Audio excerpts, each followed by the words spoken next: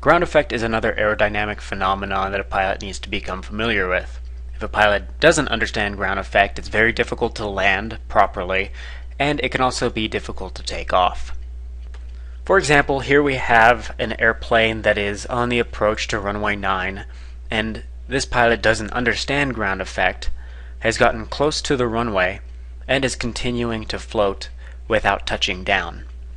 If we take a look at where ground effect exists, we can see that the pilot has entered ground effect, which doesn't allow for a reduction in airspeed, which doesn't allow the descent. Done properly, the landing looks more like this, where the pilot begins the round out before entering ground effect, allowing for a decrease in airspeed right here, which allows for a descent. And he continues that all the way to the touchdown.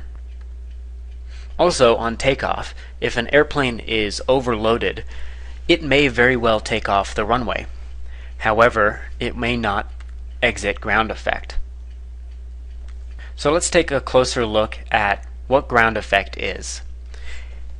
Here we have a cross-section of a wing that's flying well above the ground. We have the top camber, the lower camber, the chord line, and the lift is acting perpendicular to the chord line looking at the way that the airflow moves around the wing, we have the lower pressure area here, we have the higher relative pressure area here, and that produces the downwash.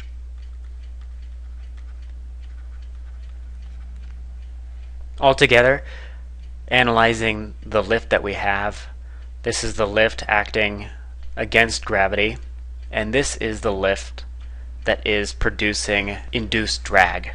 Now let's look at this wing as it flies closer to the ground. You could see that the downwash that was once coming down in this direction is diverted up. What that does to the lift is brings it up more vertically. Because it's more vertical, our induced drag is reduced. Because the induced drag is reduced, our overall efficiency is increased, which sounds like a good thing, but when landing it can make it difficult. And on takeoff, it can give uh, the pilot a sense of security that isn't there when they exit the ground effect. Another way to think about this that isn't as accurate as describing the induced drag and the downwash and all this is simply thinking of the wing coming close to the ground and forcing a high pressure area below the wing, kind of like a cushion. So it's forcing this air into one confined area, which produces more lift. Again, it's not accurate, but it's kind of nice to think about it that way.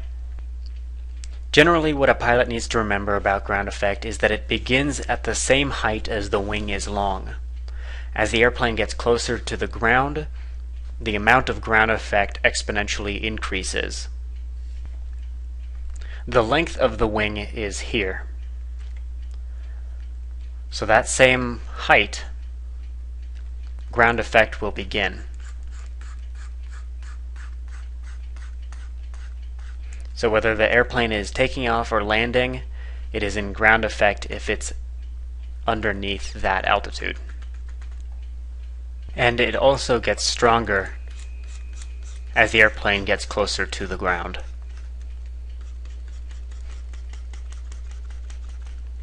There are airplane builders that have taken advantage of ground effect to create a whole different type of aircraft. This is called a Ekranoplane. It's made by Russia, and it is not designed to leave ground effect. Because of the increased performance, this airplane is very quick, burns very little fuel. However, for some reason, these airplanes, or I don't know what they are, I guess they're not even airplanes, have never really caught on, other than for recreational flight.